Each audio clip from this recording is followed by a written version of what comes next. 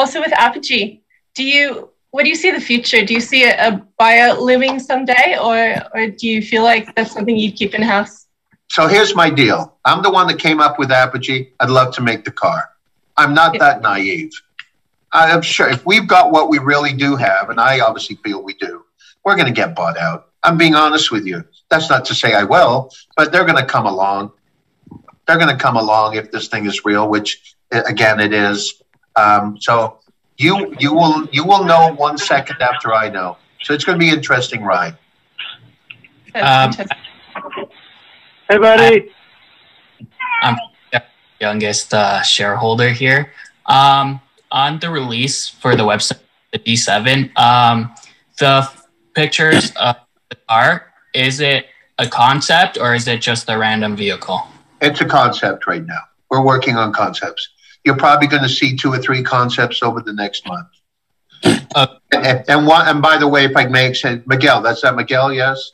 Yeah. Um, it's um, uh, and it's because when we start working with the company that we believe we will be working with, I think there's going to be quite a few changes. Simply because um, if you know anything, what they do, they simulate it, and we can actually build that car without actually building it. You and I can drive it and feel the suspension and do all the different things. It's amazing. They do it for Bentley, they do it for BMW, they do it for airplanes, and uh, so who knows what changes are going to go? And I'm pretty sure there will be changes. As a matter of fact, you know what, Miguel? Uh, I'm, I don't know if anybody knows, I'm downtown Vancouver. Directly across the street from me is a big showroom uh, that is now opening with the electric car called Lucid. And Lucid is the ex CFO of Tesla. And they went through so many variations of it. I happened to see him the other day and he was visiting there because the the showroom's actually not open yet. But so who knows, you know?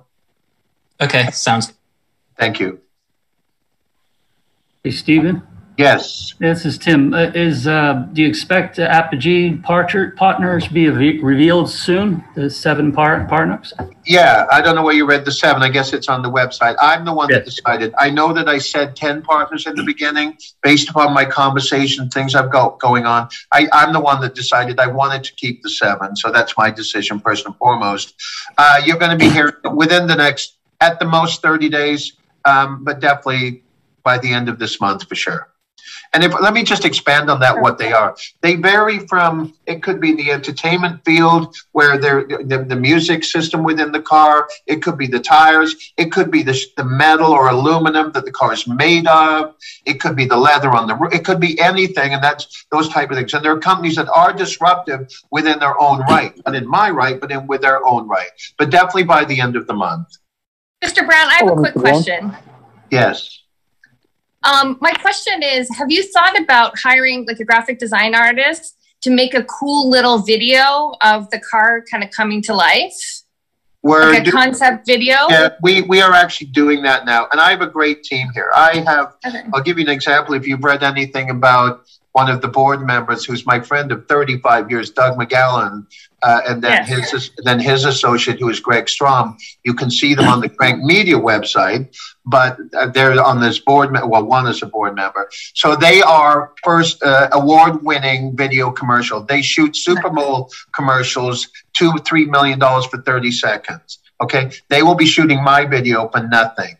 So I have those all lined up, ready to go. I'm not quite there, but we are absolutely doing that. We're, we're actually videotaping stuff as we go along in the very early stages of graphic design. Quick EV question: Have you guys decided upon uh, for a production line? Is this going to be based, or is it leaning more towards uh, uh, a partner that's already ready to roll things off an assembly line?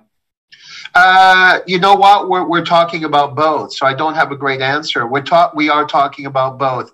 Probably we're going to have to lean towards uh, you know, an, another uh, assembly line because that's a pretty big challenge. So if I was to answer the question, I'm sure it's going to be that.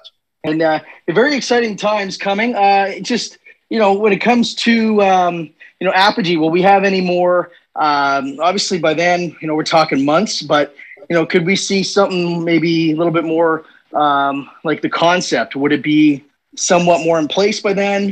Uh, obviously, we're talking February. Um, yeah, so the know, answer what, is I, I believe that I haven't talked to uh, LT about this. So I'm going to put him on the spot. So are we going to at least have the complete simulation from the company um, uh, that will be visual on all of the the monitors and everything. One hundred percent.